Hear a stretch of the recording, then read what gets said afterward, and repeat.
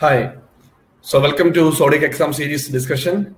Uh, this is week third, and uh, uh, we are going to discuss about Zodiac exam series uh, question number 51 to 75. Myself, Hari Krishna, academic coordinator of Zodiac Academy. So we'll move directly to the question discussion. Uh, question number 51 sausage shaped mass in abdominal palpation indicates നമ്മൾ മുൻ ഡിസ്കഷനുകളിൽ പറഞ്ഞിട്ടുണ്ട്. നമ്മൾ x-ray ഇമേജും disease കണ്ടീഷനും അതുപോലെ തന്നെ കാൻഡർസിക്സ് ഫൈൻഡിങ്ങും അത് ഏത് ഡിസീസുമായിട്ട് ബന്ധപ്പെട്ടാണെന്നുള്ള ചോദ്യങ്ങളും വരാറുണ്ട്. എസ്പെഷ്യലി ഇൻ പീഡിയാട്രിക്സ് ഇതുപോലെ ഒത്തിരി ചോദ്യങ്ങളുടെ ഓപ്ഷൻസ് ഉള്ളതാണ്. Sausage shape mass in abdominal palpation indicates എന്ന് പറയുന്ന റൈറ്റ് ആൻസർ എന്ന് പറയുന്നത് ഓപ്ഷൻ സി ആണ്. സോ ഇൻഡുസെപ്ഷൻ ആണ് റൈറ്റ് ആൻസർ ആയിട്ട് നമ്മൾ പറയുന്നത്. Clear so that's about intussusception second okay option C interception ആണ് റൈറ്റ് ആൻസർ ആയിട്ട് വരുന്നത്. അവിടെ നമ്മുടെ ഇന്റർസെപ്ഷൻ ഡിസ്കസ് ചെയ്യുമ്പോൾ തന്നെ അവിടെ നമ്മൾ ഡാൻസ് സൈനിനെ കുറിച്ച് പറയും. സോ ഇന്റർസെപ്ഷന്റെ ഡിസ്കഷനിൽ വരുന്ന കാര്യങ്ങളാണ് ഡാൻസ് സൈൻ എന്ന് പറയുന്നതും red currant jelly like stools അതുപോലെ തന്നെ bilious vomiting then step ladder or stair case pattern in X-ray ഇതെല്ലാം വരുന്നതും ഇന്റർസെപ്ഷനിലാണ് വേറെ ഒലിവ് ഷേപ്ഡ് മാസ് മൂന്ന് പി നമ്മൾ പറയുന്നത് ഇതെല്ലാം വരുന്നത് പൈലോറിക് സ്റ്റീനോസിസിലാണ്. റാംസ്റ്റെഡ്സ് പൈലോറോമയോട്ടമി ഒക്കെ നമ്മൾ ഡിസ്കസ് ചെയ്തിട്ടുണ്ട്. ഇതാണ് കാരസിസ് ഫൈൻഡിങ് അപ്പൻഡിസൈറ്റിസ് ആണെങ്കിലും ടി എഫ് ട്രക്കോ യുസഫാഗൽ ഫിഷിൽ അതിലെ മൂന്ന് സി എ കുറിച്ചും ഇതെല്ലാം തന്നെ ഓരോന്നിനും കാരസിക് ഫൈൻഡിങ്ങിനെ ഡിസ്കസ് ചെയ്യേണ്ട കാര്യങ്ങളാണ്. Question number fifty two prolonged vomiting leads to നമുക്കറിയാം പ്രൊലോങ്ഡ് വോമിറ്റിംഗ് ആകുമ്പോൾ നമ്മൾക്ക് നമ്മുടെ ഗ്യാസ്ട്രിക് ജ്യൂസിൽ ഏറ്റവും കോമൺ ആയിട്ട് കാണുന്ന ഒരു കാര്യമാണ് എച്ച് സി എൽ അല്ലെങ്കിൽ ഹൈഡ്രോക്ലോറിക് ആസിഡ് ഒരുപാട് നേരം വൊമിറ്റിംഗ് ആകുമ്പോൾ നമുക്കത് ആസിഡ് ലോസ് ആയിരിക്കും ഉണ്ടാകുന്നത് അത് കോമ്പൻസേറ്റ് സംഭവിക്കുന്നത്. Option A sorry metabolic alkalosis so prolonged vomiting leads to metabolic alkalosis നമ്മൾ പ്രൊലോങ്ഡ് ഡയറിയ എന്നാണ് പറയുന്നതെങ്കിൽ ഒരു ആൾ ലോങ് ടേം ഡയറിയ വരുമ്പോൾ അല്ലെങ്കിൽ പ്രൊലോങ് ഡയറിയ വരുമ്പോൾ അവർക്ക് ബൈകാർബണേറ്റ് ലോസ് ആണ് ഉണ്ടാവുന്നത്. കാരണം നമ്മുടെ ഇൻഡസ്ട്രീന്റെ പി എച്ച് എന്ന് പറയുന്നത് ആൽക്കലൈൻ ആണ്. സോ ബൈകാർബണേറ്റ് ലോസ് ഒത്തിരി ഉണ്ടാകും. അവിടെ സംഭവിക്കുന്നത് മെറ്റബോളിക് ആസിഡോസിസ് ആണ്. So prolonged vomiting leads to metabolic alkalosis. Prolonged diarrhea leads to metabolic acidosis. ഇവൻ ഹൈപ്പോ വെന്റിലേഷനും ഹൈപ്പർ വെന്റിലേഷനും നമ്മൾ അറിയണം സി ഒ പി ഡിയിൽ എന്താണ് സംഭവിക്കുന്നത് റെസ്പിറേറ്ററി അസിഡോസിസ് എങ്ങനെയാണ് നമുക്കറിയാം നമ്മൾ ഹൈപ്പോ വെന്റിലേഷൻ എന്ന് പറയുമ്പോൾ നമ്മുടെ ശ്വാസം എടുക്കുന്നതിന്റെ ഇത് കുറയുന്നു കാർബൺ ഡയോക്സൈഡ് അക്യുമുലേഷൻ വരുന്നു കാർബൺ ഡയോക്സൈഡും വാട്ടറുമായിട്ട് ചേർത്തിട്ട് കാർബോണിക് ആസിഡ് ഉണ്ടാവുന്നു which will release acid so hypoventilation leads to respiratory acidosis hyperventilation ആണെങ്കിൽ റെസ്പിറേറ്ററി ആൽക്കലോസിസ് ആ പോയിന്റ്സ് എല്ലാം ഓർമ്മിച്ചിരിക്കുക question number fifty three physiological jaundice occurs between നമ്മൾ നിയോണിറ്റൽ ജോണ്ടിസ് പഠിക്കുമ്പോൾ അവിടെ രണ്ട് ടേം പഠിക്കുന്നുണ്ട്. Physiological and pathological jaundice physiological jaundice എന്ന് പറയുന്നത് ഒരു കുഞ്ഞ് ജനിച്ച് ഇരുപത്തിനാല് മുതൽ എഴുപത്തിരണ്ട് മണിക്കൂർ വരെ കാണുന്നതാണ്. സോ ഓപ്ഷൻ സി ആണ് റൈറ്റ് ആൻസർ ഇരുപത്തിനാല് മുതൽ എഴുപത്തിരണ്ട് മണിക്കൂർ വരെ കാണുന്നതാണ് ഫിസിയോളജിക്കൽ ജോണ്ടിസ് വേറെ കുഞ്ഞ് ജനിച്ച് ഇരുപത്തിനാല് മണിക്കൂറിനകത്ത് വിത്തിൻ ട്വന്റി ഫോർ അവേഴ്സ് കാണുന്നതിനാണ് നമ്മൾ പത്തോളജിക്കൽ ജോണ്ടിസ് എന്ന് പറയുന്നത്. So keep in mind pathological jaundice within 24 hours, physiological jaundice 24 to 72 hours. അവിടെ നമ്മൾ കേണിക്ടറിസം അതുപോലെ ഒത്തിരി ക്രാമേഴ്സ് ക്രൈറ്റീരിയ പല പോയിന്റുകൾ നമ്മൾ ഡിസ്കസ് ചെയ്തിട്ടുണ്ട്. അറിയാനുണ്ട് ഇനി. Question fifty four which of the following is not a major tranquilliser medication ഇതുപോലത്തെ ചോദ്യങ്ങൾ നമ്മളുടെ റെയിൽവേ എക്സാംസിനും കേരള പി എസ് സി എക്സാംസിനൊക്കെ ചോദിച്ചു കണ്ടിട്ടുണ്ട് സൈക്യാട്രിക് നഴ്സിംഗ് നിങ്ങൾ പഠിക്കുമ്പോൾ ഏകദേശം ഒരു ട്വന്റി ഫൈവോളം ഡ്രഗ്സ് പഠിക്കണം. അത് ഏത് കാറ്റഗറിയിൽ ഉൾപ്പെടുന്നു എന്നുള്ള കാര്യങ്ങളെല്ലാം പഠിക്കണം. ഞാൻ ഈ കൊടുത്തിരിക്കുന്ന നാല് ഡ്രഗ് ഹാലോപെരിഡോൾ റിസ്പെരിഡോൺ ഒലാൻസപ്പീൻ കാർബാമസപ്പീൻ ഈ നാല് ഡ്രഗ് എന്ന് പറയുന്നത് ഏത് കാറ്റഗറി ആണെന്ന് ആദ്യം തിരിച്ചറിയുക. അതിന് മുന്നേ ഒരു പോയിന്റ് അറിയേണ്ടത് ചോദ്യം മേജർ ട്രാൻകുലൈസർ മെഡിക്കേഷൻ അല്ലാത്തത് എന്ത്? അപ്പോൾ മേജർ ട്രാൻകുലൈസർ എന്ന് പറഞ്ഞാൽ എന്താണെന്ന് തിരിച്ചറിയണം. മേജർ ട്രാൻകുലൈസേഴ്സ് എന്ന് പറഞ്ഞു കഴിഞ്ഞാൽ നമ്മുടെ ആന്റി സൈക്കോട്ടിക് ഗുളികളുടെ വേറൊരു പേരാണ്. അതായത് ആന്റി സൈക്കോട്ടിക് മെഡിക്കേഷൻസ് നമ്മൾ പറയുമ്പോൾ ആന്റി സൈക്കോട്ടിക് മെഡിക്കേഷൻസ് നമ്മൾ മറ്റ് അഞ്ച് പേരുകളാണ് പറയാറുള്ളത്. അതിൽ ഒരു പേരാണ് മേജർ ട്രാൻകുലൈസേഴ്സ് ഇതുപോലെ തന്നെ വരുന്ന കാര്യങ്ങളാണ് മൈനർ ട്രാൻകുലൈസർ എന്നൊരു പേരും തിരിച്ച് അറിഞ്ഞിരിക്കണം. മൈനർ ട്രാൻകുലൈസർ എന്ന് പറയുന്നത് benzo ഡൈസപ്പിൻസിനെയാണ് so major tranquilizer minor tranquilizer major tranquilizer എന്ന് പറയുന്നത് ആന്റി സൈക്കോട്ടിക് ആണ്. മൈനർ ട്രാൻകുലൈസർ എന്ന് പറയുന്നത് ബെൻസോ ഡൈസപ്പിൻ ആന്റി ആങ്സൈറ്റി ഗ്രൂപ്പിൽ വരുന്ന ഡ്രഗ്സ് ആണ്.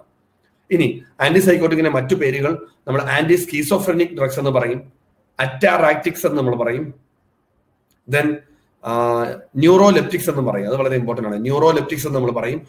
ഡോപ്പമിൻ റിസപ്റ്റർ ആന്റഗോണിസ്റ്റ് എന്ന് പറയും. അപ്പൊ ഈ അഞ്ച് പേരുകൾ ഓർമ്മിക്കുക antipsychotics major tranquilliser neuroleptics dopamine receptor antagonist then ataractics ഈ പേരുകളെല്ലാം തന്നെ ഓർമ്മിച്ചിരിക്കുക. അപ്പോൾ നമ്മൾ ആന്റിസൈക്കോട്ടിക് ഗുളിക അല്ലാത്തത് ഏത് എന്നുള്ളതാണ് ചോദ്യം. ഹാലോപെരിഡോൾ എന്ന് പറയുന്ന ഒരു ടിപ്പിക്കൽ ആന്റി സൈക്കോട്ടിക് ആണ്. ഞാൻ ആന്റി സൈക്കോട്ടിക്സ് സൈക്കാട്രിലോട്ട് വരുമ്പോഴത്തേക്ക് അതിന്റെ ചോദ്യങ്ങൾ ഡിസ്കസ് ചെയ്യാം. ആന്റി സൈക്കോട്ടിക്സ് തന്നെ നമ്മൾ ടിപ്പിക്കൽ എ ടിപ്പിക്കൽ എന്ന് രണ്ട് രീതിയിൽ തരംതിരിച്ചിട്ടുണ്ട്. അതിൽ ടിപ്പിക്കൽ ആന്റി സൈക്കോട്ടിക് ആണ് haloperidol atypical antipsychotic ആണ് റെസ്പെരഡോൺ ഒലാൻസപ്പീൻ എന്ന് പറയുന്നതെല്ലാം. അപ്പോ ഇതിലെ മേജർ ട്രാൻസ്ലേസർ അല്ലാത്ത ഡ്രഗ് അതായത് ആന്റി സൈക്കോട്ടിക് അല്ലാത്ത ഡ്രഗ് എന്ന് പറയുന്നത് ഓപ്ഷൻ ഡി കാർബാമസപ്പീൻ ആണ്. കാർബാമസപ്പീൻ എന്ന് പറയുന്ന ഒരു മൂഡ് സ്റ്റെബിലൈസർ ആണ്. ആന്റി മാനിക് ഏജന്റ് നമ്മൾ പറയുന്നതിൽ കോമൺ പഠിക്കുന്ന കാര്യങ്ങളുണ്ട്. ലിത്തിയം സോഡിയം വാൽപ്രോയേറ്റ് കാർബാമസെപ്പീൻ ഇനിയുണ്ട് ലെവൽ ടു ഡ്രഗ്സ് ഉണ്ട്. ലാമോട്രിജിൻ ഓക്സ് കാർബോസപ്പീൻ എന്നൊക്കെ പറഞ്ഞ ഗുളികകളുണ്ട്. അതൊക്കെ നമ്മൾ സൈക്കാട്രിയിൽ ഡിസ്കസ് ചെയ്യുന്ന കാര്യങ്ങളാണ്. ഇവിടെ ഓർമ്മിക്കുക മേജർ ട്രാൻസ്ലേസർ അല്ലാത്ത മരുന്ന് തന്നിരിക്കുന്ന ഓപ്ഷനുള്ളത് കാർബാമസപ്പീൻ ആണ്. Question number fifty five pulse polio immunization was introduced in the year pulse polio immunization introduce ചെയ്ത വർഷം എന്ന് പറയുന്നത് ഓപ്ഷൻ ബി നയന്റീൻ നയന്റി ഫൈവിലാണ് നമുക്കറിയാം polio disease polio faeco oral route വഴിയുള്ള ട്രാൻസ്മിഷൻ ആണ്. നമ്മുടെ ഇന്ത്യയിൽ തന്നെ പോളിയോ ഫ്രീ ആയിട്ടുള്ള ഫസ്റ്റ് പറയുന്നത് വെല്ലൂർ. വെല്ലൂർ നമ്മൾ ഫസ്റ്റ് പോളിയോ ഫ്രീ എന്ന് പറയുന്നത്. ദെൻ ലോഞ്ച് ചെയ്ത പ്രോഗ്രാമാണ് pulse polio immunisation nineteen ninety ഫൈവിലാണ് ഈ പ്രോഗ്രാം ലോഞ്ച് ചെയ്തത്. Question number fifty six in triage yellow colour indicates so important ചോദ്യമാണ്. ട്രയാജ് എന്നൊരു കോൺസെപ്റ്റ് നിങ്ങൾ കേട്ടിട്ടുണ്ട്. നമ്മുടെ എമർജൻസി ഡിപ്പാർട്ട്മെന്റിൽ നമ്മൾ ഉപയോഗിക്കുന്ന ഒരു വാക്കാണ്. ട്രയാജ് ഒരു ഡിസാസ്റ്റർ മാനേജ്മെന്റിൽ നമ്മൾ ഉപയോഗിക്കാറുണ്ട്. നമ്മൾ ട്രയാജ് തന്നെ നമ്മൾ പറയും സോർട്ട് ഔട്ട് എന്നാണ് വാക്കിന് അർത്ഥം. നമ്മൾ prioritising a prioritising the patients അതായത് പേഷ്യൻസിന്റെ ഒരു മാസ് കാഷ്വാലിറ്റി വരുമ്പോൾ നമ്മൾ അവരെ പ്രയോറിറ്റൈസ് ചെയ്ത്. മാസ് കാഷ്വാലിറ്റി അല്ല അല്ലാതെ പേഷ്യന്റ് വരുമ്പോൾ അവരെ നമ്മൾ പ്രയോറിറ്റി അനുസരിച്ച് നമ്മൾ ചെയ്യുന്നതിനാണ് നമ്മൾ ട്രയാജ് എന്ന് പറയുന്നത്. ഡൊമിനിക് ജീൻ ലാറി എന്ന് പറഞ്ഞ ആളാണ് ഈ കോൺസെപ്റ്റ് കൊണ്ടുവന്നത്. ഡൊമിനിക് ജീൻ ലാറി എന്ന് പറഞ്ഞ ആളാണ് ഈ കോൺസെപ്റ്റ് കൊണ്ടുവന്നത് ട്രയാജ് എന്ന കോൺസെപ്റ്റ് ആ ട്രയാജിന്റെ കോൺസെപ്റ്റ് നമ്മൾ നാല് കളർ കോഡ് യൂഷ്വലി പറയാറുണ്ട്. Black red yellow green black എന്ന് പറയുന്നത് ഡെഡ് കേസുകളാണ് എമർജൻസി അതായത് അക്യൂട്ട് കേസ് അങ്ങനെ എമർജൻസി വളരെ സീരിയസ് ആയിട്ട് വരുന്നവരെ നമ്മൾ റെഡ് കളർ എന്ന് പറയുന്നത്. യെല്ലോ കളർ എന്ന് പറയുന്ന ഒരു അർജന്റ് കേസുകൾ അതായത് മോഡറേറ്റ് ലെവലിൽ വരുന്നതാണ് നോൺ അർജന്റ് അങ്ങനത്തെ കേസുകളാണ് നമ്മൾ ഗ്രീൻ കളർ പറയുന്നത്. ചോദ്യം നമ്മളത് ട്രയാജിൽ yellow colour indicates option B urgent ആണ്. റെഡ് ആണെങ്കിൽ എമർജന്റ് ആയിരിക്കും ഗ്രീൻ ആണെങ്കിൽ നോൺ അർജന്റ് ആയിരിക്കും ബ്ലാക്ക് ഡെഡ് ആയിരിക്കും. ഇതാണ് കളർ കോഡിംഗ് വരുന്നത്. ക്വസ്റ്റ്യൻ അമ്പത്തി ഏഴ് identify the correct order of Kubler Ross grief stage again നമ്മൾ മെന്റൽ ഹെൽത്ത് നഴ്സിംഗിൽ ഒരു ഇമ്പോർട്ടന്റ് ടോപ്പിക്കാണ് ലോസ് ഡെത്ത് ആൻഡ് ഗ്രീഫ് എന്ന് പറയുന്ന ഒരു ഏരിയ അതിൽ ഗ്രീഫിൽ തന്നെ ഡിഫറെന്റ് ഡിഫറെന്റ് തിയറീസ് ഉണ്ട്. Bowlby theory Kubler Ross theory അങ്ങനെ എണ്ണമറ്റ തിയറീസ് ഉണ്ട്. അതിൽ നമ്മൾ കുബ്ലർ റോസിന്റെ ഒരു കോമൺലി പറയുന്ന ഗ്രീഫിന് സ്റ്റേജസ് ഉണ്ട്. അത് യൂഷ്വലി നമ്മൾ കോഡ് വെച്ചാണ് പഠിച്ചിട്ടുള്ളത്. അത് ഓർമ്മിച്ചാൽ ഈ ഉത്തരം എഴുതാൻ പറ്റും. ഡാബ്ഡ എന്നാണ് നമ്മൾ പറയാറുള്ളത്. Denial anger bargaining depression acceptance നമ്മൾ അതായത് ഒരു നഷ്ടപ്പെടൽ ആദ്യം നമ്മൾ അക്സെപ്റ്റ് ചെയ്തില്ല ഡിനയൽ പിന്നെ അതിനോട് നമ്മൾ പൊരുത്തപ്പെടാൻ ഭയങ്കര ദേഷ്യമായിട്ട് കാണിക്കും. പിന്നെ നമ്മൾ ബാർഗെയിൻ ചെയ്യും. പിന്നെ നമ്മൾ അക്സെപ്റ്റൻസിലോ അല്ലെങ്കിൽ ഡിപ്രഷൻ ഇത് അതിന്റെ ദുഃഖം കാരണം പിന്നെ അവസാനം നമ്മൾ അക്സെപ്റ്റ് ചെയ്യും. ഏതൊരു ഗ്രീഫ് ഒരു നമ്മുടെ loss of a loved one ഏത് കാര്യം വരുമ്പോൾ നമ്മൾ ഈ സ്റ്റേജിൽ കൂടെയാണ് കടന്നു പോകുന്നതെന്നാണ് കുബ്ലർ റോസ് പറഞ്ഞത്. അതാണ് DABDA that is option C ആണ് right answer denial anger bargaining depression acceptance ഓർമ്മിച്ചിരിക്കുക.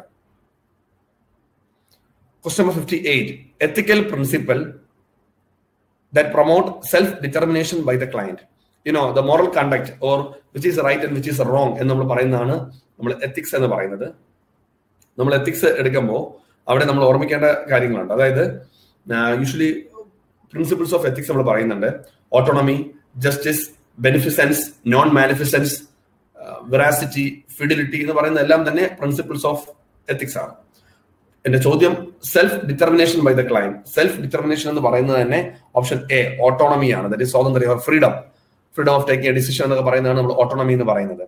വേറെ അവിടെ ഓപ്ഷൻ ബി ബെനിഫിഷ്യൻസ് എന്ന് പറയുന്നത് do only good to the patient justice എന്ന് പറയുന്നത് ഇക്വിറ്റി നോൺ മാനിഫിസൻസ് എന്ന് പറയുന്നത് do not do any harm to the patient so do only good ആണെങ്കിൽ beneficence എന്ന് പറയും. Do not do any harm ആണെങ്കിൽ നോൺ മാനിഫിസൻസ് എന്ന് പറയും. Self determination by the client വരുന്നത് ഓപ്ഷൻ എ ഓട്ടോണമിയാണ് റൈറ്റ് ആൻസർ അമ്പത്തി ഒമ്പതാമത്തെ ചോദ്യം. Meta paradigms in nursing theory are ഓർമ്മിക്കുക നമ്മൾ നഴ്സിംഗ് തിയറി എന്ന് പറഞ്ഞ ഒരു കോൺസെപ്റ്റ് ഡിസ്കസ് ചെയ്യും. മേ ബി ഞാനത് എന്റെ ഓൺലൈൻ സ്റ്റുഡൻസ് നമ്മൾ ക്ലാസ് എടുക്കുമ്പോൾ ഒരു thirty to forty five minutes discussion ഉള്ള ഒരു കാര്യമാണ്. കാരണം കഴിഞ്ഞ ഡി എം ഇ എക്സാംസിന് നമുക്ക് എവിഡൻസ് ബേസ്ഡ് പ്രാക്ടീസും ബന്ധപ്പെട്ട ചോദ്യങ്ങൾ വന്ന സ്ഥിതിക്ക് മെറ്റാ പാരഡൈം നമ്മൾ എക്സ്പെക്ട് ചെയ്യേണ്ട ഒരു ചോദ്യമാണ്. ഒരു പതിനഞ്ച് തിയറിയും നമുക്ക് അവിടെ പഠിക്കാനുണ്ട്. അതിൽ ഒരു ഒന്നോ രണ്ടോ ക്വസ്റ്റ്യൻസ് നമ്മൾ ഡിസ്കസ് ചെയ്യുന്നുണ്ട്. അപ്പം തിയറിയുടെ കോൺസെപ്റ്റിലോട്ട് നമ്മൾ വരുമ്പോൾ മെറ്റാ പാരഡൈംസ് എന്ന് പറയുന്നത് നാല് കാര്യങ്ങളാണ്. അതായത് ഏതൊരു തിയറിയും ഈ നാല് കോൺസെപ്റ്റ് ഒരു ലിങ്ക് ചെയ്താണ് ഓരോ തിയറിസ്റ്റുകളും സംസാരിച്ചിട്ടുള്ളത്. You heard about Nightingale Henderson Abdellah Orem Betty Neuman sister Callista Roy Parse Roger Levine's ഞാൻ ഇങ്ങനെ പറഞ്ഞു തുടങ്ങി പതിനഞ്ചോളം പേര് പതിനഞ്ച് പതിനെട്ട് തിയറീസ് നമുക്ക് ഡിസ്കസ് ചെയ്യാനുണ്ടാവും. അപ്പൊ അതിൽ മെറ്റാ പാരഡൈം എന്ന് പറയുന്നത് ഓപ്ഷൻ ബി ആണ് റൈറ്റ് ആൻസർ നാല് കോൺസെപ്റ്റ് ആണ് മെറ്റാ പാരഡൈമിൽ വരുന്നത്. നഴ്സിംഗ് പേഴ്സൺ എൻവയോൺമെന്റ് ഹെൽത്ത് അതായത് ഓരോ തിയറിയും കോൺസെപ്റ്റ് നഴ്സിംഗ് എന്താ കെയർ നമ്മൾ കൊടുക്കുന്നത്. പേഴ്സൺ എന്ന് പറയുന്ന പേഷ്യന്റ് അവരുടെ എൻവയോൺമെന്റ് ആൻഡ് ഹെൽത്ത് ഈ നാല് കോൺസെപ്റ്റുമായിട്ടാണ് ലിങ്ക് ചെയ്ത് ഓരോ തിയറീസും എക്സ്പ്ലെയിൻ ചെയ്യുന്നത്. ഇതാണ് അമ്പത്തി ഒമ്പതാമത്തെ ചോദ്യം. ക്വസ്റ്റ്യൻ നമ്പർ സിക്സ്റ്റി ഞാൻ ഓൾറെഡി പറഞ്ഞു. ഒരു തിയറി നമ്മൾ ഇതിൽ എക്സ്പ്ലെയിൻ ചെയ്യുന്നുണ്ട്. Which theory explains the concepts as orientation identification exploitation and resolution C നിങ്ങൾ ഓരോ തിയറി പഠിക്കുമ്പോഴും ആ തിയറി എന്താണ്? തിയറിയുടെ പേരെന്താണ്? ആ തിയറിസ്റ്റിന്റെ പേരെന്താണ്? ആ തിയറിയുടെ കോർ കോൺസെപ്റ്റുകൾ എന്താണ്? ഇത്രയും കാര്യങ്ങൾ ഒരു ബോക്സ് പോലെ പഠിച്ചു വെക്കേണ്ടതായിട്ടുണ്ട്. അതിലൊരു ചോദ്യമാണിത്. നമ്മുടെ ഒരു തിയറി അതിന്റെ കോൺസെപ്റ്റിലാണ് orientation identification exploitation and resolution എന്താണത്? അതായത് നമ്മൾ മദർ ഓഫ് സൈക്യാട്രിക് നഴ്സിംഗ് എന്നറിയപ്പെടുന്നത്. മദർ ഓഫ് സൈക്യാട്രിക് നഴ്സിംഗ് എന്നറിയപ്പെടുന്നത് നമ്മുടെ ഓപ്ഷൻ സി ഹിൽഡി ഗാർഡ് പെപ്ലോയാണ് അപ്പൊ പെപ്ലോ എന്ന് പറഞ്ഞ വ്യക്തി അവരുടെ തിയറിയുടെ വരുന്ന കോൺസെപ്റ്റുകളാണ് orientation identification exploitation and resolution എന്ന് പറയുന്നത്. അതായത് നമ്മൾ തെറാപ്യൂട്ടിക് റിലേഷൻഷിപ്പ് പഠിക്കുമ്പോൾ അതിന് നാല് ഫേസുകൾ നമ്മൾ പറയാറുണ്ട്. ആ നാല് ഫേസുകൾ എന്ന് പറയുന്ന ഒരു പേഷ്യൻ നമ്മൾ ആദ്യമായിട്ട് കാണുമ്പോൾ ഇൻട്രഡക്ടറി ഫേസ് ദെൻ നമ്മൾ പരിചയപ്പെടുന്നു ദെൻ വർക്കിംഗ് ഫേസ് വരുന്നു ആൻഡ് ഫൈനലി ടെർമിനേഷൻ ഫേസ് വരുന്നു. അതെല്ലാം തന്നെ ഈ തിയറിയുടെ കോൺസെപ്റ്റ് ലിങ്ക്ഡ് ആണ്. ഓറിയന്റേഷൻ നമ്മൾ ആദ്യമായിട്ട് പേഷ്യന്റെ കാര്യങ്ങളെല്ലാം ആരാണെന്ന് മനസ്സിലാക്കുന്നു ദെൻ അവരോട് സംസാരിക്കുന്നു ഐഡന്റിഫിക്കേഷൻ അവരുടെ പ്രോബ്ലം എന്താണെന്ന് ഐഡന്റിഫൈ ചെയ്യുന്നു എക്സ്പ്ലോയിറ്റേഷൻ ദെൻ നമ്മൾ termination that is resolution so അതാണ് ഹിൽഡിഗാർഡ് പെപ്ലോന്റെ തിയറിയുടെ കോൺസെപ്റ്റ് ആണ്. ഇന്റർ പേഴ്സണൽ റിലേഷൻസ് തിയറി എന്നാണ് പറയുന്നത്. ഓക്കെ ഹിൽഡിഗാർഡ് പെപ്ലോയുടെ തിയറിയുടെ പേരാണ് ഇന്റർ പേഴ്സണൽ റിലേഷൻസ് തിയറി അതാണ് mother of psychiatric nursing Peplau പറയുന്ന കോൺസെപ്റ്റുകൾ ഇവിടെ മറ്റു പേരുകളൊന്ന് പറഞ്ഞു പോകാം. അതായത് നമ്മുടെ ഡൊറോത്യ ഓറം ഡൊറോത്യ ഓറം എന്ന് പറയുന്നത് Orem's self care deficit theory self care deficit theory ആരാണെന്ന് ചോദിച്ചു കഴിഞ്ഞാൽ അത് ഡൊറോത്യ ഓറമാണ് ബെറ്റി ന്യൂമാൻ എന്ന് പറയുന്നത് സിസ്റ്റംസ് തിയറിയാണ് അതായത് നമ്മൾ ഈ തിയറിയിൽ ബന്ധപ്പെട്ടാണ് നമ്മുടെ normal defence mechanism line of resistance എന്നൊക്കെ പറഞ്ഞ് നമ്മൾ കോൺസെപ്റ്റ് ഡിസ്കസ് ചെയ്യും.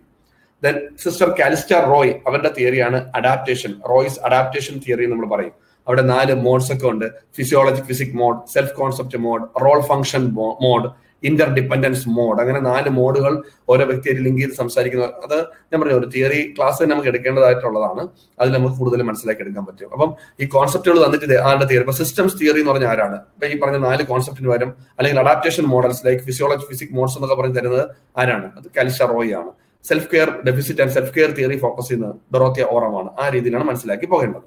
ഓക്കെ സോ അറുപതാമത്തെ ചോദ്യം ഹെൽഡിഗാർഡ് പെപ്ലോയാണ് റൈറ്റ് ആൻസർ അറുപത്തി ഒന്ന് in a patient with postural hypotension minimum expected decrease in systolic B P after standing for at least one minute അതായത് നമുക്കറിയാം നമ്മൾ ലൈൻ പൊസിഷനിൽ നിന്നും പെട്ടെന്ന് സ്റ്റാൻഡിംഗ് പൊസിഷനിലോട്ട് എത്തുമ്പോൾ നമ്മുടെ ബി പി ഫോളിനെയാണ് നമ്മൾ പോസ്റ്ററൽ ഹൈപ്പോടെൻഷൻ എന്ന് പറയുന്നത്. ഓർത്തോസ്റ്റാറ്റിക് ഹൈപ്പോടെൻഷൻ അല്ലെങ്കിൽ പോസ്റ്ററൽ ഹൈപ്പോടെൻഷൻ നമ്മൾ പറയും. അവിടെ ചോദ്യം ഇതാണ് സിസ്റ്റോളിക് ബി പി എത്ര കുറയുന്നതെന്നാണ്. നമ്മുടെ ഓപ്ഷൻ സി ആണ് right answer systolic B P ഇരുപത് മില്ലിമീറ്റർ മെർക്കുറിയും ഡയസ്റ്റോളിക് ബി പി പത്ത് മില്ലിമീറ്റർ മെർക്കുറിയും ഒരു മൂന്ന് മിനിറ്റ് എങ്കിലും നമ്മൾ നിൽക്കുമ്പോൾ കുറയുന്നതിനാണ് നമ്മൾ പോസ്റ്ററൽ ഹൈപ്പോടെൻഷൻ അല്ലെങ്കിൽ ഓർത്തോസ്റ്റാറ്റിക് ഹൈപ്പോടെൻഷൻ എന്ന് പറയുന്നത്. ക്ലിയർ ആണെന്ന് വിശ്വസിക്കുന്നു. സിസ്റ്റോളിക് ആണെങ്കിൽ ഇരുപത് മില്ലിമീറ്റർ മെർക്കുറി ഡയസ്റ്റോളിക് ആണെങ്കിൽ പത്ത് മില്ലിമീറ്റർ മെർക്കുറി. നെക്സ്റ്റ് ചോദ്യം. Sixty two the percentage and flow of oxygen in a red colour venturi mask നമ്മളത് ഇമ്പോർട്ടന്റ് ആണ്. കാരണം പെർസെന്റേജ് ഓഫ് ഓക്സിജനും നമ്മൾ colour code of venturi mask. Blue white green orange yellow red ഓരോ കളറിലും എത്ര percentage of oxygen flow ആണ് നമ്മൾ അറിഞ്ഞിരിക്കണം.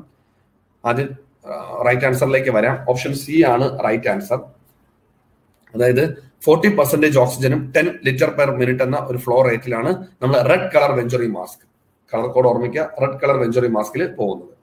ഞാൻ മറ്റ് കളർ കോഡ്സ് ഒന്ന് പറയാം. നമ്മൾ blue then white, orange, yellow, red, green ഇങ്ങനെ ഓരോ കളറായിട്ട് നമുക്ക് ഡിസ്കസ് ചെയ്യാം. ബ്ലൂവിൽ നമ്മൾ ട്വന്റി ഫോർ പെർസെന്റേജ് ഓക്സിജൻ പറയും. വൈറ്റ് നമ്മൾ ട്വന്റി എയ്റ്റ് പെർസെന്റേജ് പറയും. ഓറഞ്ച് തേർട്ടി വൺ പെർസെന്റേജ് പറയും. യെല്ലോ തേർട്ടി ഫൈവ് പെർസെന്റേജ് പറയും. റെഡ് ഫോർട്ടി പെർസെന്റേജ് പറയും. ഗ്രീൻ സിക്സ്റ്റി പെർസെന്റേജ് പറയും. ഇത്തരം നിങ്ങൾ ആദ്യം ബൈഹാർട്ട് ചെയ്യുക. Blue white orange yellow red green ആ ഓർഡറിൽ അങ്ങ് കളർ പഠിച്ചു വെച്ച് കഴിഞ്ഞാൽ പെർസെന്റേജ് ഇൻക്രീസ് ചെയ്യുന്നതാണ് നമ്മൾ കാണിക്കുന്നത്. ഇരുപത്തിനാല് ഇരുപത്തെട്ട് മുപ്പത്തൊന്ന് മുപ്പത്തഞ്ച് നാൽപ്പത് അറുപത് എന്ന രീതിയിൽ നമുക്ക് പഠിക്കാൻ പറ്റും. ഓക്കെ സോ ഇതൊന്ന് ഓർമ്മിച്ചെടുക്കുക. അപ്പം റെഡ് കളർ ആകുമ്പോൾ നാൽപ്പത് percentage and ten litre per minute എന്നാണ് വരുന്നത്. ക്വസ്റ്റ്യൻ നമ്പർ അറുപത്തി മൂന്ന് which type of solutions causes water to shift from cells into plasma okay അത് നമ്മൾ രണ്ടു മൂന്ന് പോയിന്റ് അറിയണം. നമ്മൾ ഹൈപ്പർട്ടോണിക് ഹൈപ്പർട്ടോണിക് ഐസോട്ടോണിക് സൊല്യൂഷൻസ് കേട്ടിട്ടുണ്ട്. ഓരോന്നിന് എക്സാമ്പിൾസ് നമ്മൾ പഠിച്ചിട്ടുണ്ട്. Point nine percentage N S C L isotonic ആണെന്നും റിംഗർ ലാറ്റിറ്റ് ഐസോട്ടോണിക് ആണെങ്കിലും ഐസോട്ടോണിക് ആണെന്നും ഹൈപ്പോട്ടോണിക്കിനും ഡെക്സ്ട്രോസും നമ്മൾ ഡി എൻ എസ് ഓരോന്ന് ഹൈപ്പോട്ടോണിക്കിനും നമ്മൾ എക്സാമ്പിൾസ് പഠിച്ചിട്ടുണ്ട്. അപ്പൊ ആദ്യം എന്താണത്? ഏത് സൊല്യൂഷൻ ആണ്? Water to shift from cells into plasma നമ്മൾ സെൽസ് ഇൻ ടു പ്ലാസ്മ സെൽസിൽ നിന്നും പ്ലാസ്മയിലോട്ട് പോകുന്നതിനെ ഹൈപ്പർ ടോണിക് സൊല്യൂഷൻസ് എന്ന് പറയും. ഹൈപ്പോട്ടോണിക് സൊല്യൂഷൻസ് എന്ന് പറയുന്നത് നമ്മൾ shift fluid from plasma to cells തിരിച്ച്. പ്ലാസ്മ ടു സെൽസിലോട്ടുള്ള ഷിഫ്റ്റ് ആണെങ്കിൽ നമ്മൾ അതിനെ ഹൈപ്പോട്ടോണിക് എന്ന് പറയും. ഐസോട്ടോണിക് സൊല്യൂഷൻസ് എന്ന് പറയും they have the same osmolarity as that of blood plasma isotonic എന്ന് പറയുമ്പോൾ സെയിം ഓസ്മോളാരിറ്റി ആണ്. അതുകൊണ്ട് ഐസോട്ടോണിക് എന്ന് പറയുന്നത്. ഹൈപ്പർട്ടോണിക് ആകുമ്പോൾ cells into plasma plasma into cells ആകുമ്പോൾ ഹൈപ്പോട്ടോണിക് ആയിരുന്നു ആ പോയിന്റ്സ് ഓർമ്മിച്ചിരിക്കുക. ക്വസ്റ്റ്യൻ നമ്പർ അറുപത്തിനാല്. Forty six millimetre mercury H C O three minus twenty nine milli equivalence per litre interpret നമ്മൾ M O H had question paper നമ്മൾ നോക്കിയാൽ സ്ഥിരം ഒരു ചോദ്യമാണിത്. കേരള പി എസ് എല്ലിലും ചോദിക്കാം. ഓർമ്മിക്കും ഇവിടെ വരുന്നത് എന്താണ്? നമ്മുടെ പി എച്ച് ഓഫ് ബ്ലഡ് എന്ന് പറയുന്നത് seven point three five to seven point four five ആണ് നമ്മൾ നോർമൽ പറയുന്നത്. അപ്പോ പി എച്ച് കൂടുതലാണ്. നമുക്കറിയാം പി എച്ച് കൂടിക്കഴിഞ്ഞാൽ അതൊരു ആൽക്കിലോസിസ് ആണ് കണ്ടീഷൻ എന്ന് പറയുന്നത്. അല്ലെ? അത് കഴിഞ്ഞാൽ അടുത്ത് വരുന്നത് എന്താണ്? P C O two normal value thirty five to forty five ആണ് എലിവേറ്റഡ് ആണ് P C O two value കാണുന്നത്. H C O three minus നമ്മൾ twenty two to twenty seven ആണ് പറയുന്നത്. അതും എലിവേറ്റഡ് വാല്യൂ ആണ് കാണിക്കുന്നത്. സോ ഇവിടെ കോമ്പൻസേറ്ററി നോൺ കോമ്പൻസേറ്ററി മെക്കാനിസം എന്ന് പറയാം അൺകോമ്പൻസേറ്ററി മെക്കാനിസം പറയുന്നില്ല. ജസ്റ്റ് സിംപ്ലി പറഞ്ഞു കഴിഞ്ഞാൽ എല്ലാ വാല്യൂവും കൂടുന്ന അവസ്ഥയാണ് കാണുന്നത്. അങ്ങനെ വരുമ്പോൾ അതിനാണ് നമ്മൾ മെറ്റബോളിക് ആലിക്ലോസിസിലാണ് ഇത് സംഭവിക്കുന്നത്. ഞാനൊരു സിമ്പിൾ എക്സ്പ്ലനേഷൻ കാണിച്ചു തരാം നമ്മൾ പറയാറുണ്ട് നമ്മുടെ എന്താ പറയുന്നത് നാല് ബോക്സ് വരയ്ക്കുക respiratory acidosis respiratory alkalosis metabolic acidosis metabolic alkalosis. ഇവിടെ നമ്മൾ വയ്ക്കുന്നു P H P C O to H C O three minus. P H of blood എന്ന് പറയുന്നത് seven point three five to seven point four five ആണ്. P C O to എന്ന് പറയുന്നത് thirty five to forty five milli metre ഫർക്കുറി ആണ്. H O three minus എന്ന് പറയുന്നത് twenty two twenty seven milli ഇക്വലൻസ് ആണ്. Okay. നമ്മൾ റെസ്പിറേറ്ററി അസിഡോസിസ് ആകുമ്പോൾ acidosis എന്തായാലും പി എച്ച് കുറയും അടുത്ത രണ്ട് വാല്യൂവും കൂടും. റെസ്പിറേറ്ററി ആൽക്കലോസിസ് ആകുമ്പോൾ പി എച്ച് കൂടും അടുത്ത രണ്ട് വാല്യൂ കുറയും. മെറ്റബോളിക് അസിഡോസിസ് ആകുമ്പോൾ എല്ലാ വാല്യൂവും കുറയും. മെറ്റബോളിക് ആൽക്കലോസ് ആകുമ്പോൾ എല്ലാ വാല്യൂവും കൂടും. ഈ ബോക്സ് പഠിച്ചിട്ട് നിങ്ങൾക്ക് എളുപ്പമായിരിക്കും. നിങ്ങൾ നോർമൽ വാല്യൂസ് ആദ്യം അറിഞ്ഞിരിക്കണം. അത് കഴിഞ്ഞ് ഈ ബോക്സ് ഇതുപോലെ ഓർമ്മിച്ചിരുന്നാൽ ഇതിലൊരു ചോദ്യം നിങ്ങൾക്ക് എഴുതാൻ പറ്റും. ഇവിടെ കോമൺ സെക്ടറി വരുമ്പോൾ പി എച്ചിന്റെ വാല്യൂ അനുസരിച്ചൊക്കെയാണ് അത് നിങ്ങൾ ആസിഡ് ബേസ് ക്ലാസ്സുകൾ നമ്മൾ ഡീറ്റെയിൽ ആയിട്ട് പഠിപ്പിക്കുന്ന കാര്യവുമാണ്. ഇനി ഇവിടെ പൊട്ടാസ്യത്തിന്റെ കാര്യം കൂടെ ചോദിച്ചു കഴിഞ്ഞാൽ ഒരു പക്ഷേ നമുക്കറിയാം അസിഡോസിസിൽ ഹൈപ്പർ കലീമിയയും ആൽക്കിലോസിസിൽ ഹൈപ്പോ കലീമിയാണ് സംഭവിക്കുന്നത് അല്ലെ? നോർമലി നമ്മുടെ ഒരു സെല്ലുണ്ട് സെല്ല് നമുക്ക് സെല്ലിനകത്ത് ഇൻട്രാ സെല്ലുലാറിൽ ഏറ്റവും കൂടുതൽ കാണുന്ന സാധനം പൊട്ടാസ്യമാണ്. ഇൻട്രാ സെല്ലുലാർ കാറ്റഗോൺ എന്ന് പറയുന്നത് പൊട്ടാസ്യമാണ്. അവിടെ എച്ച് പ്ലസ് അയോൺസും കാണും. നമ്മൾ അസിഡോസിസ് എന്ന് പറയുമ്പോൾ അസിഡോസിന്റെ ആസിഡിലെ കൂടുതൽ? പുറത്തുള്ള എച്ച് പ്ലസ് അയോൺസിന്റെ കോൺസെൻട്രേഷൻ കൂടുന്ന അവസ്ഥയാണ് നമ്മൾ അസിഡോസിസ് എന്ന് പറയുന്നത് അല്ലെ? അപ്പൊ അങ്ങനെ വരുമ്പോൾ ആ എച്ച് പ്ലസ് അയോൺസ് സെല്ലിനകത്തോട്ട് ഇടിച്ചു കയറാനുള്ള സാധ്യത കൂടും. അങ്ങനെ സെല്ലിനകത്തോട്ട് ഇടിച്ച് കയറുമ്പോൾ നമുക്ക് എന്ത് ചെയ്യണം? എപ്പോഴും ഒരു സെല്ല് ബാലൻസ് ആയിട്ട് പോകണം നമ്മൾ ഇക്വിലിബ്രിയം ഓഫ് സെൽ ഹോമിയോസ്റ്റാസിസ് നമ്മൾ പറയും. അങ്ങനെ ബാലൻസ് ചെയ്യാൻ വേണ്ടി equal number of K plus പുറത്ത് ചാടും. എത്ര എച്ച് പ്ലസ് അയോൺസ് അകത്ത് കയറുന്നു? അത്രയും കെ പ്ലസ് സെൽസ് പുറത്തോട്ട് ചാടും. അങ്ങനെ കെ പ്ലസ് പുറത്തോട്ട് ഇറങ്ങുന്നത് തന്നെ നമ്മൾ എന്ത് പറയുന്നു? അവിടെ വരുമ്പോൾ പുറത്ത് കെ പ്ലസ് അയോൺസിന്റെ കോൺസെൻട്രേഷൻ കൂടി നമ്മൾ അവിടെ തന്നെ ഹൈപ്പർ കലീമിയ അല്ലെങ്കിൽ പൊട്ടാസ്യം ലെവൽ കൂടി എന്ന് പറയും. അതാണ് ഞാൻ നേരത്തെ പറഞ്ഞത്. അസിഡോസിസ് സംഭവിക്കുമ്പോൾ ഹൈപ്പർ കലീമിയ വരും. ആൽക്ലോസ് ആണെങ്കിൽ തിരിച്ച് ഹൈപ്പോ കലീമിയ സംഭവിക്കും. സോ ഈ ബോക്സ് പഠിച്ചു വെച്ചാൽ നിങ്ങൾക്ക് എളുപ്പമായിട്ട് ഒരു ക്വസ്റ്റ്യൻ എഴുതാൻ പറ്റും എന്നുള്ളത് ഷുവറാണ് സോറി എഴുതാൻ പറ്റും. അതുകൊണ്ട് ഇതൊന്ന് ഓർമ്മിച്ചിരിക്കുക. പിന്നെ കോമൺ സെക്ടറി അൺകോമൺ സെക്ടറിയിലെ ആസിഡ് ബേസ് ക്ലാസ്സുകൾ അറ്റൻഡ് ചെയ്യുമ്പോൾ നിങ്ങൾക്ക് കൂടുതൽ മനസ്സിലാവും. ഓക്കെ അപ്പോൾ നമ്മുടെ ചോദ്യം എന്തായിരുന്നു? ഇവിടെ നിങ്ങൾക്കറിയാം എല്ലാ വാല്യൂ കൂടുന്ന അവസ്ഥയാണ്. എല്ലാ വാല്യൂ കൂടുന്ന അവസ്ഥയിൽ നമ്മൾ കാണിച്ചത് എന്താണ്? എല്ലാ വാല്യൂ കൂടുന്നു. ഈ ഓപ്ഷൻ ആണ് അല്ലെ? മെറ്റബോളിക് ആൽക്കലോസിസ് എല്ലാ വാല്യൂ കൂടുന്നു. സോ അവിടെ right answer is option B metabolic alkalosis quest number sixty five most abundant anion in E C F നമ്മൾ പറഞ്ഞു പോയൊരു പോയിന്റ് ആണ്. നമ്മൾ എപ്പോഴും അറിയണം. നാല് പോയിന്റ് അവിടെ അറിയണം. നമുക്ക് ഐ സി എഫ് ഉണ്ട് ഇ സി എഫ് ഉണ്ട്. ഇ സി എഫിൽ നമ്മൾ നോക്കുമ്പോൾ നമുക്ക് ആനയോണും ഉണ്ട് കാറ്റയോണും ഉണ്ട്. മോസ്റ്റ് അബണ്ടൻ ആനയോൺ എന്ന് പറയുന്നത് ക്ലോറൈഡ് ആണ്. ഓക്കെ മോസ്റ്റ് അബണ്ടൻ കാറ്റയോൺ എന്ന് പറയുന്നത് സോഡിയം ആണ്. ക്ലിയർ ക്വസ്റ്റ്യനിലെ ഓപ്ഷൻ സോഡിയം കണ്ടുകൊണ്ടാണ് നമ്മൾ ആകെ പഠിച്ചിരിക്കുന്ന അല്ലെങ്കിൽ കേട്ടിരിക്കുന്ന ഒരു കാര്യം എന്ന് പറയുന്നത് ഇ സി എഫിൽ സോഡിയവും ഐ സി എഫിൽ പൊട്ടാസ്യം എന്നുള്ളത് നിങ്ങൾ കേട്ടിട്ടുണ്ട്. അല്ലെ? അപ്പൊ അത് കാരണം നമ്മൾ ഇ സി എഫ് എന്ന് കണ്ട ഉടനെ തന്നെ സോഡിയം എടുത്ത് ഉത്തരം എഴുതാനുള്ള സാധ്യത വളരെ കൂടുതലുണ്ട്. ഞാനിത് പരീക്ഷ നടത്തുമ്പോൾ കുട്ടികൾ അങ്ങനെ എഴുതുന്നതും കണ്ടിട്ടുണ്ട്. ശ്രദ്ധിക്കുക. മോസ്റ്റ് അബണ്ടൻ ആനയോൺ എന്ന് പറയുന്നത് ക്ലോറൈഡും കാറ്റയോൺ എന്ന് പറയുന്നത് സോഡിയവുമാണ് അതേപോലെ തന്നെ നമ്മൾ ഐ സി എഫ് എടുത്തു കഴിഞ്ഞാൽ ഐ സി എഫിലോട്ട് നമ്മൾ നോക്കുമ്പോഴത്തേക്കും ആനയോൺ എന്ന് പറയുന്നത് ഫോസ്ഫേറ്റും കാറ്റയോൺ എന്ന് പറയുന്നത് പൊട്ടാസ്യവുമാണ് ഏറ്റവും കൂടുതൽ കാണുന്ന anion in I C F ചോദിച്ചു കഴിഞ്ഞാൽ ഫോസ്ഫേറ്റ് കാറ്റയോൺ ആണെങ്കിലാണ് പൊട്ടാസ്യം സോ നാല് ഓപ്ഷൻ ഈ പറഞ്ഞ നാല് ഓപ്ഷനും നാല് ചോദ്യങ്ങളാണ് ഇ സി എഫിലെ കാറ്റയോൺ ഏറ്റവും കൂടുതൽ സോഡിയം ക്ലോറൈഡ് എന്ന് പറഞ്ഞാൽ ആനയോൺ ഏറ്റവും കൂടുതൽ. ഐ സി എഫ് വരുമ്പോൾ ആനയോൺ ഫോസ്ഫേറ്റ് പൊട്ടാസ്യം ആണ് എന്ത്? കാറ്റയോൺ ആയിട്ട് വരുന്നത്. Okay question number sixty six അറുപത്താറാമത്തെ ചോദ്യം. Which of the following is used in the management of hyperkalemia നമ്മുടെ പൊട്ടാസിന്റെ അളവ് കൂടുന്നതിനാണ് നമ്മൾ ഹൈപ്പർ കലീമിയ എന്ന് പറയുന്നത്. Normal value three point five to five point five ഒക്കെയാണ്. അതിന്റെ ബോ വാല്യൂ പോകുമ്പോഴാണ് നമ്മൾ ഹൈപ്പർ കലീമിയ എന്ന് പറയുന്നത്. അപ്പം ഇതിനകത്ത് ഏതാണ് മാനേജ്മെന്റ് ഓഫ് ഹൈപ്പർ കലീമിയ എന്ന് ചോദിച്ചിരിക്കുന്നത്? Option D insulin with glucose ആണ് റൈറ്റ് ആൻസർ ആയിട്ട് നമുക്ക് അറിയേണ്ടത്. ഇവിടെ നമ്മൾ മാനേജ്മെന്റ് ഓഫ് ഹൈപ്പർ കലീമിയ അറിഞ്ഞിരിക്കണം. ജസ്റ്റ് വൺ സെക്കൻഡ് നമ്മൾ പൊട്ടാസ്യം കൂടുന്ന അവസ്ഥ ഹൈപ്പർ കലീമിയയുടെ മാനേജ്മെന്റ് എന്ന് പറയുമ്പോൾ വൺ ബൈ വൺ നമ്മൾ ഡിസ്കസ് ചെയ്ത് കഴിഞ്ഞാൽ ഫസ്റ്റ് വൺ നമുക്ക് കാൽഷ്യം ഗ്ലൂക്കോണേറ്റ് കൊടുക്കാം. കാൽഷ്യം ഗ്ലൂക്കോണേറ്റ് എന്ന് പറയുന്നത് പൊട്ടാസ്യത്തിന്റെ ആന്റിഡോട്ട് ആണ് അല്ലെ? പൊട്ടാസ്യത്തിന്റെ ആന്റിഡോട്ട് ആണ് so line of management first point is calcium gluconate you can give number two insulin with glucose insulin with glucose നിങ്ങൾ കൊടുക്കാം. ബിക്കോസ് ഇൻസുലിൻ വിത്ത് ഗ്ലൂക്കോസ് നമ്മൾ കൊടുക്കുമ്പോൾ facilitates the uptake of glucose into the cell which brings potassium down അപ്പം potassium അതിന്റെ കൂടെ തന്നെ പുറത്തോട്ട് excretion പോകും. അതുകൊണ്ട് തന്നെ നമ്മൾ ഇൻസുലിൻ വിത്ത് ഗ്ലൂക്കോസ് നമുക്ക് കൊടുക്കാൻ പറ്റും. മൂന്നാമത്തെ പോയിന്റ് എന്ന് പറയുന്നത് ഡയൂററ്റിക്സ് ലാസിക്സ് നമ്മൾ ഡയോട്ടിക്സ് നമ്മൾ കൊടുക്കുമ്പോൾ ഡയോട്ടിക്സിൽ സംഭവിക്കുന്നത് പൊട്ടാസ്യം ലോസ് ത്രൂ കിഡ്നി യൂറിനിൽ കൂടെ നമുക്ക് പൊട്ടാസ്യം എക്സ്ക്രീഷൻ ഉണ്ടായിരിക്കും. ഡയോട്ടിക്സ് കൊടുക്കാം. നാലാമത്തെ പോയിന്റ് നമ്മൾ പറയുന്നത് നെബുലൈസേഷൻ നെബുലൈസേഷൻ വിത്ത് സാൽബ്യൂട്ടമോൾ ആണ്. നമ്മൾ നെബുലൈസേഷൻ കൊടുക്കുമ്പോൾ നമ്മൾ യൂഷ്വലി സാൽബ്യൂട്ടമോളൊക്കെ എന്ന് പറയുന്നത് നമ്മൾ ബ്രോങ്കോ ഡയലറ്റേഴ്സ് ആണ് bronchodilators like beta adrenergic agonist beta beta adrenergic agonist ഒക്കെ നമ്മൾ കൊടുക്കുമ്പോൾ that promote cellular reuptake of potassium okay cellular reuptake of potassium സംഭവിക്കുന്നു. അതുകൊണ്ട് തന്നെ നമ്മൾ നെബുലൈസേഷൻ സാൽബ്യൂട്ടമോളും ലൈൻ ഓഫ് മാനേജ്മെന്റ് ഓഫ് ഹൈപ്പർ കലീമിയാണ് സോ ഇത്രയും നാല് പോയിന്റ് നിങ്ങൾ ഓർമ്മിച്ചിരിക്കുക. നമുക്ക് എങ്ങനെ ഹൈപ്പർ കലീമിയ മാനേജ് ചെയ്യാമെന്നുള്ളതാണ് പറഞ്ഞിരിക്കുന്നത്. ചോദ്യം ഇതിനകത്ത് വരുന്നത് ഇൻസുലിൻ വിത്ത് ഗ്ലൂക്കോസ് ആണ് right answer okay question number sixty seven signs and symptoms of hypocalcaemia are except negative wording ആണ് എക്സെപ്റ്റ് നമുക്കറിയാം ഹൈപ്പോ കാൽസീമിയ നമ്മൾ ടെറ്റനിയിലൊക്കെ നമ്മൾ കഴിഞ്ഞ ദിവസങ്ങൾ ഡിസ്കസ് ചെയ്യാൻ പഠിച്ചിരുന്നു. ടെറ്റനിയൊക്കെ വരുമ്പോൾ നമുക്കറിയാം ഒരു നമ്പനസ് ആൻഡ് ടിംഗ്ലിംഗ് സെൻസേഷൻ ഉണ്ടാകും. അതുപോലെ തന്നെ നമ്മുടെ ഫേഷ്യൽ സ്പാസം ഷോസ്റ്റക് സൈൻ ഉണ്ടാകും.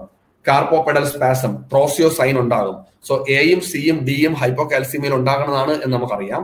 അവിടെ റൈറ്റ് ആൻസർ എന്ന് പറയുന്ന ഓപ്ഷൻ ബി ആണ്. അവിടെ എന്താ പറഞ്ഞേക്കുന്നത്? Short and QT interval E C G എന്നാണ് പറഞ്ഞേക്കുന്നത്. അല്ല പ്രൊളോങ്ങേഷൻ ഓഫ് ക്യൂറ്റി ഇന്റർവൽ ആണ് അവിടെ സംഭവിക്കുന്നത്. ഏർലി ആഫ്റ്റർ ഡീപോളറൈസേഷൻ അപ്പൊ നമ്മൾ അവിടെ ഒരു ഇമ്പോർട്ടന്റ് ഏരിയ നമുക്ക് പഠിക്കാനുണ്ട്. കാർഡിയോളജി നിങ്ങൾ പഠിക്കുമ്പോൾ അവിടെ electrolyte abnormality hypokalemia hyperkalemia hypocalcemia hypercalcemia നാട്രീമിയയിലൊക്കെ ഉണ്ടാകുന്ന ഇ സി ജി അബ്നോർമാലിറ്റി നമ്മൾ ബൈഹാർട്ട് ചെയ്ത് പഠിക്കേണ്ടതായിട്ടുണ്ട്.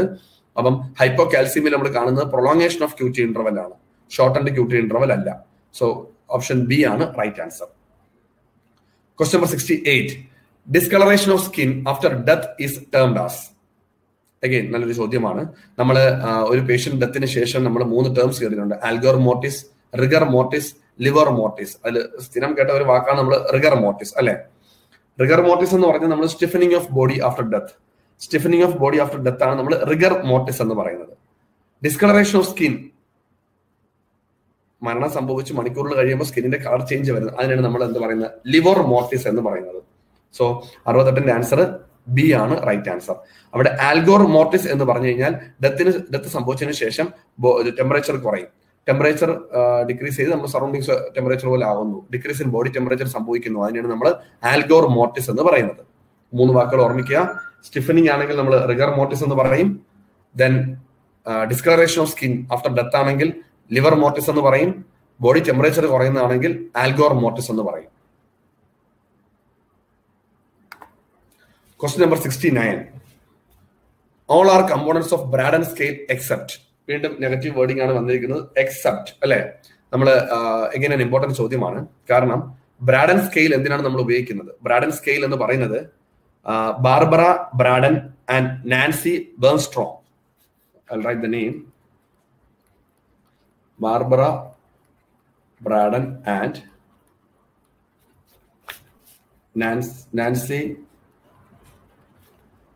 B E R G S T R O M Barbara Braden and Nancy Bergstrom Bergstrom എന്ന് പറയുന്ന ആൾക്കാർ അവരാണ് ഈ ബ്രാഡൻ സ്കെയിൽ എന്ന് പറഞ്ഞൊരു കോൺസെപ്റ്റ് അല്ലെങ്കിൽ ഈ ഒരു സ്കെയിൽ കണ്ടുപിടിച്ചത്. ഈ സ്കെയിൽ എന്ന് പറയുന്നത് നമ്മുടെ പ്രഷർ സോർ അല്ലെങ്കിൽ പ്രഷർ അൾസറിന്റെ റിസ്ക് റേറ്റ് ചെയ്യുന്നതാണ്. അതായത് റിസ്ക് റേറ്റ് ചെയ്യുന്നതാണ്. പ്രഷർ സോർ വന്നതിന് ശേഷം റേറ്റ് ചെയ്യുന്നതല്ല അതിന്റെ റിസ്ക് റേറ്റ് ചെയ്യുന്ന സ്കെയിലാണ് ബ്രാഡൻ സ്കെയിൽ എന്ന് പറയുന്നത്. അപ്പൊ അതിനകത്ത് ആറ് കമ്പോണൻസ് ആണ് ഉള്ളത്. ഇതിൽ ഉൾപ്പെടാത്തത് ഏത് എന്നുള്ളതായിരുന്നു ചോദ്യം. ഓപ്ഷൻ ഡി ആണ് right answer. Length of hospital stay എന്ന് പറയുന്നത് ബ്രാഡൻ സ്കെയിലിന്റെ ഒരു പാരാമീറ്റർ അല്ല. ബ്രാഡൻ സ്കെയിലിന്റെ പാരാമീറ്റേഴ്സ് എന്തൊക്കെയാണെന്ന് വെച്ച് കഴിഞ്ഞാൽ sensory perception shear or friction mobility അതുകൂടാതെ ഇപ്പൊ മൂന്നെണ്ണം നമ്മൾ പറഞ്ഞിട്ടുണ്ട്. എയും ബിയും സിയും എന്ന് പറയുന്ന ബ്രാഡൻ സ്കെയിലിന്റെ കോൺസെപ്റ്റ് ആണ്. അത് കൂടാതെ വരുന്ന കോൺസെപ്റ്റുകളാണ് ആക്ടിവിറ്റി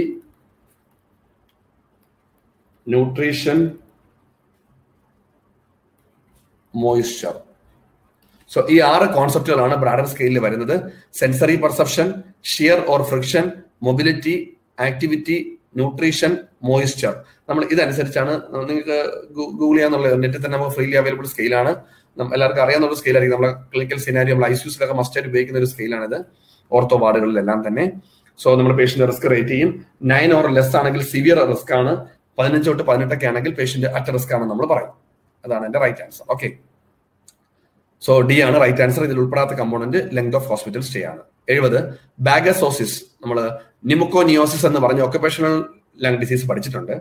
അതിൽ വരുന്ന കുറച്ച് ടേംസ് ആണ്. ബാഗസോസിസ് എന്ന് പറയുന്നത് inhalation of dash option A ആണ് right answer sugar cane dust നിങ്ങൾക്ക് ഓർമ്മിക്കാൻ എളുപ്പമാണ്. ഇവിടെ മൂന്നും നാലും വേർഡ് എന്ന് പറയുന്നത് ഗായിലാണ് തുടങ്ങുന്നത്. ഇവിടെ ഷുഗർ സോ ഓർമ്മിക്കാം. ഷുഗർ കെയിൻ ആണ് ബാഗാസോസിസ് നമ്മൾ തിരിഞ്ഞു പോകുന്ന ഒരു വാക്കുണ്ട്. ബിസിനോസിസ് മൺഡേ ഫീവർ എന്നൊക്കെ നമ്മൾ പറയും. ബിസിനോസിസ് എന്ന് പറയുന്നത് കോട്ടൺ ഡസ്റ്റ് നമ്മൾ അതിനെ കുറിച്ച് മൺഡേ ഫീവറിനെ കുറിച്ചൊക്കെ നമ്മൾ ഇനി അത് പഠിക്കും. സോ കോട്ടൺ ഡസ്റ്റ് ഇൻഹലേഷൻ ആണെങ്കിൽ അവിടെ സംഭവിക്കുന്നതാണ് ബിസിനോസിസ് കോൾ ഡസ്റ്റ് നമ്മൾ ആന്ത്രക്കോസിസ് എന്ന് പറയും സിലിക്ക ഡസ്റ്റ് സിലിക്കോസിസ് എന്നൊക്കെ നമ്മൾ പറയും. So bagassosis due to inhalation of sugar cane dust ആണ്. Quest number one vitamin help in wound healing direct ചോദ്യമാണ്. Option B vitamin C ascorbic acid എന്നാണ് വൈറ്റമിൻ സിന്റെ വേറൊരു പേര്. സോ അതാണ് റൈറ്റ് ആൻസർ അപ്പോ വൈറ്റമിൻ എ റെറ്റിനോൾ നമ്മൾ പറയും. നമ്മൾ എ ഡി ഇ കെ എന്ന് പറയുന്നത് ഫാറ്റ് സോലബിൾ വൈറ്റമിൻ ആണ്. ബിയും സിയും വാട്ടർ സോലബിൾ വൈറ്റമിൻ ആണ്. വൂണ്ട് ഹീലിംഗിന് സഹായിക്കുന്നത് നമ്മുടെ കൊളാജൻ അതിന്റെ ഫോർമേഷൻ സഹായിക്കുന്നതെല്ലാം വൈറ്റമിൻ സി ആണ്. Question number seventy two vitamin E is otherwise known as എല്ലാ വൈറ്റമിൻസിനും മറ്റു പേരുകളൊക്കെ ഉണ്ട്. അപ്പൊ ന്യൂട്രീഷൻ ക്ലാസ്സുകൾ അറ്റൻഡ് ചെയ്യുമ്പോൾ കൂടുതൽ മനസ്സിലാകും വൈറ്റമിൻ ഇയുടെ വേറൊരു പേരാണ് ഓപ്ഷൻ ബി ടോക്കോഫെറോൾ എന്ന് പറയുന്നത്. അതായത് നമ്മൾ ആന്റി സ്റ്റെറിലിറ്റി വൈറ്റമിൻ എന്നൊക്കെ നമ്മൾ പറയും ടോക്കോഫെറോൾ വൈറ്റമിൻ എയുടെ വേറൊരു പേരാണ് റെറ്റിനോൾ വൈറ്റമിൻ സിയുടെ വേറൊരു പേരാണ് അസ്കോർബിക് ആസിഡ് വൈറ്റമിൻ ഡിയുടെ വേറൊരു പേരാണ് കാൽസിഫറോൾ നമ്മൾ കോലെ കാൽസിഫ്രോൾ എർഗോ കാൽസിഫ്രോൾ എന്നൊക്കെ നമ്മൾ പഠിക്കും. ബിക്കോസ് ന്യൂട്രീഷൻ ക്ലാസ്സിൽ വൈറ്റമിൻ വളരെ ഇമ്പോർട്ടന്റ് ആണ്. നമ്മുടെ കേരള പി എസ് സി പരീക്ഷകൾ സ്ഥിരം ഒരു ചോദ്യമാണ്.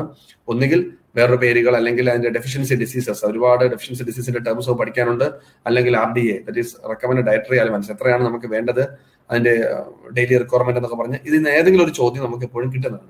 സോ ഒരു ബോക്സ് വരച്ചിട്ട് ഓരോ വൈറ്റമിനും അതിന്റെ ഡെഫിഷ്യൻസി ഡിസീസും അതിന് എത്ര റിക്വയർമെന്റ് വേണമെന്നുള്ളതും അതിന്റെ സോഴ്സസും നമ്മൾ പഠിക്കേണ്ടതാണ്. നമ്മുടെ ന്യൂട്രീഷൻ ക്ലാസ്സുകളിലെല്ലാം അത് ഉണ്ടായിരിക്കുന്നതുമാണ് quest number seventy three which of the following is an essential amino acid other important question essential amino acid എന്ന് പറയുമ്പോൾ നമ്മൾ സപ്ലൈ ചെയ്യേണ്ടതാണ് ഫുഡിൽ കൂടെ അല്ലെ? സോ അങ്ങനെ അറിയേണ്ട പേരുകളുണ്ട് കുറച്ച്. ഇതിൽ തന്നിരിക്കുന്നതിൽ റൈറ്റ് ആൻസർ എന്ന് പറയുന്നത് സി ആണ്. സോ ട്രിപ്റ്റോഫാൻ എന്ന് പറയുന്ന ഒരു എസെൻഷ്യൽ അമിനോ ആസിഡ് ആണ്. ഞാനൊരു പത്ത് എസെൻഷ്യൽ അമിനോ ആസിഡ്സിന്റെ പേര് പറയാം. നിങ്ങൾ അതൊരു കോഡ് പോലെ ഓർമ്മിച്ചിരുന്നാൽ മതി. പി വി ടി പ്രൈവറ്റ് എന്നതിന്റെ short form P V T Tim Hall എന്ന് ഓർത്താൽ മതി. P V T Tim Hall എന്ന് ഓർമ്മിക്കാൻ പറ്റും. അതിൽ ഓരോന്നിന്റെ പേര് പറയാം. P stands for phenylalanine okay phenyl ആണ് പി വി എന്ന് പറയുന്നത് valine. T threonine another T tryptophan നമ്മുടെ ചോദ്യത്തിന്റെ ഉത്തരം. ട്രിപ്റ്റോഫാൻ ദെൻ ഐ എന്ന് പറയുന്നത് isoleucine M methionine H histidine A arginine L leucine and last lysine. Okay P V T Tim എന്ന് ഓർമ്മിക്കുക. ഈ പത്തെണ്ണമാണ് എസെൻഷ്യൽ അമിനോ ആസിഡിൽ വരുന്നത്. നമ്മുടെ റൈറ്റ് ആൻസർ എന്ന് പറയുന്നത് ഓപ്ഷൻ സി ആണ് ട്രിപ്റ്റോഫാൻ ചോദ്യം എഴുപത്തിനാല്.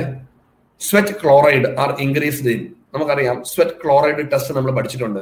Drug which is used for sweat chloride test എന്ന് പറഞ്ഞാൽ പരീക്ഷയ്ക്ക് ചോദിച്ചിട്ടുണ്ട്. പിലോ കാർപ്പിൻ ആണ് റൈറ്റ് ആൻസർ സ്വെറ്റ് ക്ലോറൈഡ് എന്ന് പറയുന്നത് ഓപ്ഷൻ ബി സിസ്റ്റിക് ഫൈബ്രോസിസിലാണ് കാണുന്നത്. നമ്മൾ സോൾട്ടി കിസസ് സ്വെറ്റ് ടെസ്റ്റ് എന്നൊക്കെ പറഞ്ഞ് പഠിക്കുന്നതെല്ലാം തന്നെ സിസ്റ്റി ഫൈബ്രോസ് ആണ്. അതൊരു ഡീറ്റെയിൽ ആയിട്ട് പഠിക്കേണ്ട ഒരു കണ്ടീഷൻ ആണ്. നമ്മൾ കഫ് വിത്ത് തിക് മ്യൂക്കസ് ഒക്കെ വന്നിട്ട് നമ്മൾ ഓക്കെ അവിടെ ഒരു എന്താ പറയുന്നത് എങ്ങനെയാണ് സ്വെറ്റ് ടെസ്റ്റ് ചെയ്യുന്നത്? ഇതെല്ലാം ഡീറ്റെയിൽ ആയിട്ട് പഠിക്കേണ്ടത് ക്ലാസ്സിൽ അറ്റൻഡ് ചെയ്യുമ്പോൾ നിങ്ങൾക്ക് മനസ്സിലാകും. മറ്റു ഓപ്ഷൻസ് പറഞ്ഞിരിക്കുന്ന കോൺ സിൻഡ്രോം ഹൈപ്പർ ആൽഡോസ്റ്റെറോണസിൽ വരുന്നതാണ്. അല്ലെങ്കിൽ അതിന്റെ വേറൊരു പേരാണ് കോൺ സിൻഡ്രോം ഞങ്ങളുടെ ക്ലാസ്സുകളിൽ ഞങ്ങൾ അമ്പത് സയൻസും അമ്പത് സിൻഡ്രോം ഒക്കെ പഠിപ്പിക്കുന്നുണ്ട് ഓൺലൈൻ ക്ലാസ്സുകളിലും ക്ലാസ്സിലെല്ലാം തന്നെ ഹൈപ്പോ ആൽഡോസ്റ്റെറോണിസം ആണ്. ആഡിസൺസ് ഡിസീസ് ദെൻ അഡിനൽ മെഡിലേക്ക് വരുന്ന ട്യൂമർ അതിനെയാണ് ഫിയോ ക്രോമോസൈറ്റോമ നമ്മൾ പറയുന്നത്. അഡിനൽ മെഡില ട്യൂമർ ഫിയോ ക്രോമോസൈറ്റോമ അവിടെ നമ്മൾ കാണുന്നുണ്ട് severe hypertension and signs and symptoms പഴയ കേരള പി എസ് സിയിലെ ചോദ്യമായിരുന്നു. സോ എഴുപത്തിനാല് റൈറ്റ് ആൻസർ എന്ന് പറയുന്ന ഓപ്ഷൻ ബി ആണ്. എഴുപത്തി അഞ്ച് sickle cell anaemia is dash sickle cell anaemia ഇതിനകത്ത് ഏതിന് വരുന്ന എക്സാമ്പിൾ ആണ്? അതായത് നമ്മൾ ഇതൊരു ടേം ഞാൻ ചോദിച്ചതേ ഉള്ളൂ ഒരുപാട് പരീക്ഷകൾ ചോദിച്ചിട്ടുള്ള എയിംസിനൊക്കെ പലവട്ടം ചോദിച്ചിട്ടുള്ളതാണ് ഇത് ഡിസീസ് കണ്ടീഷൻ വന്നിട്ട് ഇതിൽ നാലെണ്ണത്തിൽ ഏത് പെടും എന്നുള്ളത്. സിക്കിൾ സെൽ അനീമിയ നമുക്കറിയാം. Option B autosomal recessive disorder ആണ്. ഓട്ടോസോമൽ റെസസീവിൽ വരുന്നതാണ്. നമുക്ക് കുറച്ച് പേരുകളൊന്ന് ഓർമ്മിച്ച് പോവുക. ഓട്ടോസോമൽ ഡോമിനന്റ് നമ്മൾ പഠിക്കേണ്ട എക്സാമ്പിൾ ആണ്. ഹണ്ടിൻടൺസ് കൊറിയ എക്കോൺട്രോപ്ലാസിയ ഓസ്റ്റോജെനസിസ് ഇംപെർഫെക്റ്റ് എന്നൊക്കെ പറഞ്ഞ് നമ്മൾ കണ്ടീഷൻസ് പഠിച്ചിട്ടുണ്ട്. ഇതെല്ലാം ഓട്ടോസോമൽ ഡോമിനന്റിൽ വരുന്നതാണ്.